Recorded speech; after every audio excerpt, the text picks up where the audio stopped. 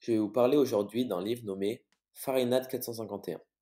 Il a été écrit par Ray Bradbury en 1953 et a eu deux adaptations au cinéma, une en 1966 et une en 2018.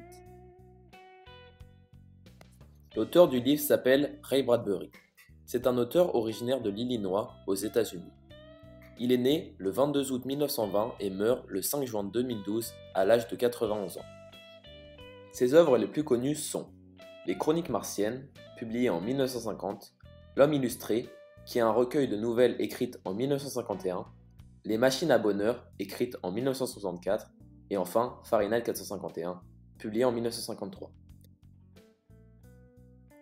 Fahrenheit 451 est un roman dystopique. Une dystopie est une fiction dépeignant une société imaginaire organisée d'une telle façon que ses membres ne peuvent pas être heureux. L'utopie est le contraire de la dystopie.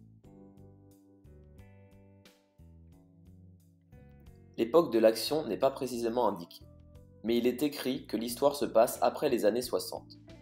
L'action est assez courte, elle dure quelques jours.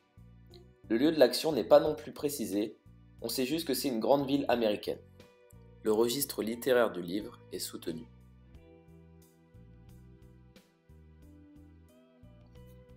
L'histoire se passe dans un monde où la possession de livres est illégale, car d'après l'État, le savoir rend la population malheureuse.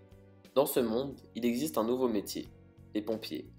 Leur fonction est de faire disparaître les livres restant sur Terre en les brûlant. On suit l'histoire d'un pompier, Montag, qui fait un jour la rencontre d'une jeune femme, Clarisse, qui va lui faire changer sa façon de penser à propos des livres. Ils vont amicaliser, mais elle va mourir peu après, d'un accident de voiture. Un jour, pendant son service, il va voler un livre pour voir ce que l'État cache à la population. Ne pouvant pas garder son secret tout seul, il se tourne vers sa femme. Mais, ne voulant rien entendre, il va s'allier à un vieil homme nommé Faber qui va l'aider dans sa quête de connaissances.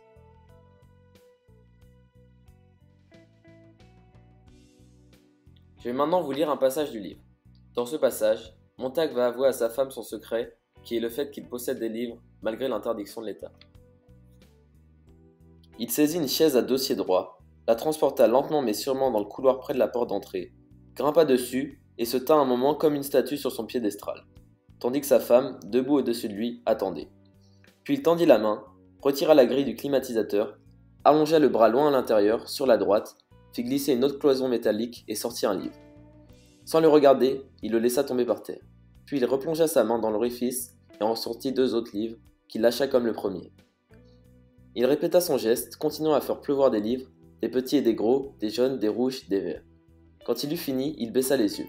Une vingtaine de livres gisaient au pied de sa femme. Je suis désolé, dit-il. Je n'ai pas véritablement réfléchi, on dirait que nous sommes tous les deux dans le bain à présent.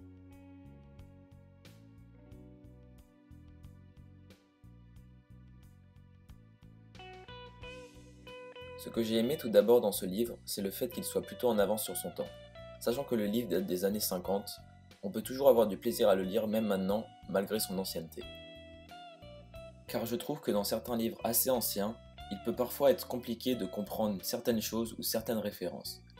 Dans ce livre, je n'ai pas eu ce pressentiment.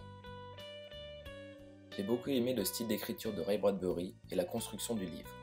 Je trouve que les événements du livre s'enchaînaient assez rapidement, ce qui fait que nous n'avons pas à nous ennuyer durant la lecture de celui-ci. La seule chose que je n'ai pas vraiment aimé dans ce livre, c'est la fin. J'ai été déçu car tout d'abord, je ne l'ai pas vraiment comprise et je trouve qu'il y avait beaucoup de questions qui restaient sans réponse.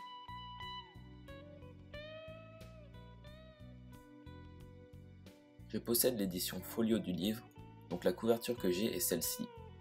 Elle a été faite par Aurélien Polis, qui est un grand illustrateur dans le genre de la science-fiction.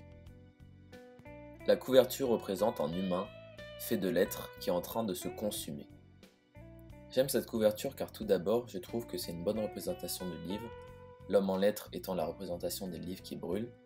J'ai aussi aimé le choix des couleurs, le fait que le tout soit sobre et qu'il n'y ait que le rouge qui ressorte, la représentation du feu.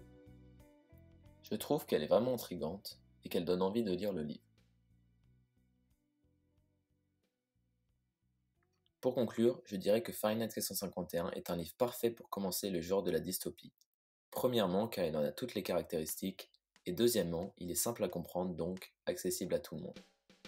En tout cas, je vous remercie de m'avoir écouté et j'espère qu'après cette vidéo, vous aurez envie de lire le livre.